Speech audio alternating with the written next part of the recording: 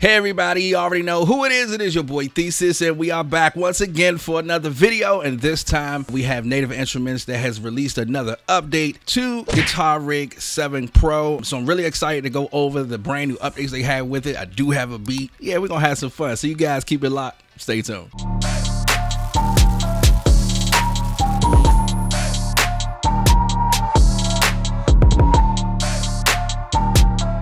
All right, so let's talk about what's brand new in Guitar Rig Pro. So basically, you have new IC amp, you have a super fast 100, you have a reverb delight, you have a bass range, a AC Box XV, a cabinet impulse response loader.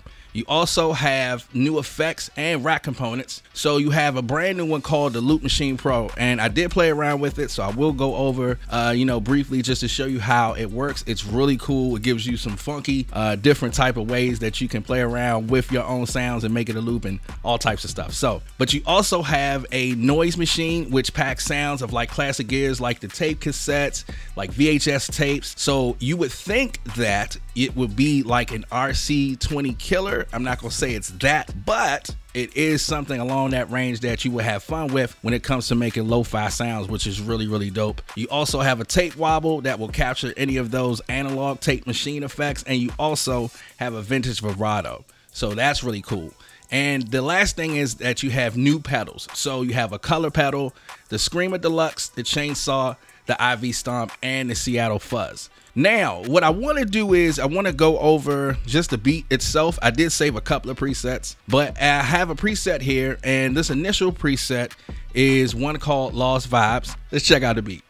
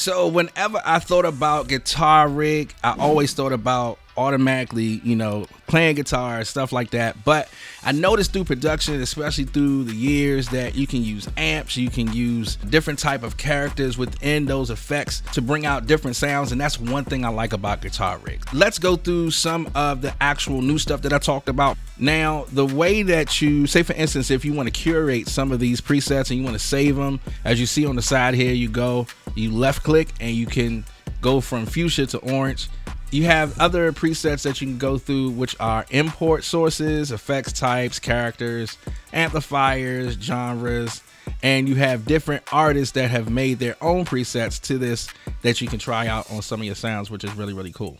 So the loop player will be under your tools, and then you will hit Loop Machine Pro, right? So here's the Loop Machine Pro, which is really, really fun. It's really fun. So I'm gonna single out the melody that I played, and then I'm going to play it and then you'll see how it starts to make its own type of funky little things based off the presets and things that you have. So let's check it out.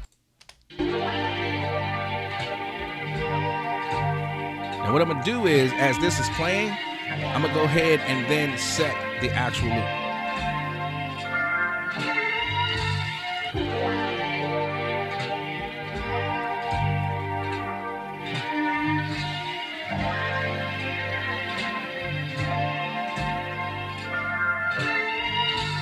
It's just that simple.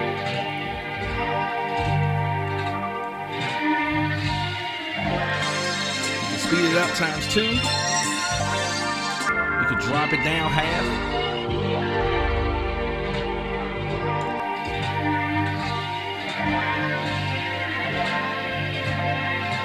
Now you have a record length where you can go. It's free from one to 16 bars. Uh, let's stop that.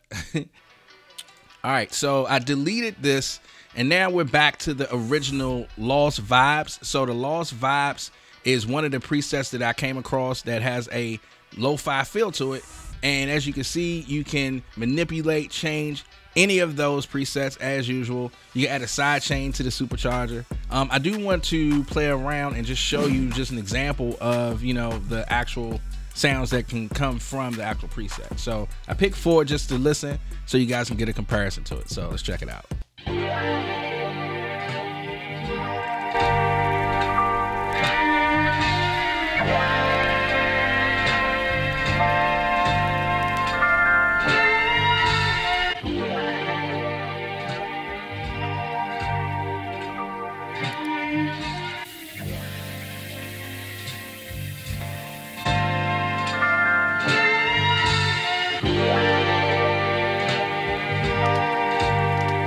So uh, yeah, basically that's that's pretty much it. I just wanted to show you the new things that they have. Uh, one of my favorite things was the Loop Machine Pro. If you guys have this, please make sure that you go and get the update. If you do not, please make sure that you drop down to the link in the description. Go cop this. It is definitely a must-have if you support anything that Native Instrument do.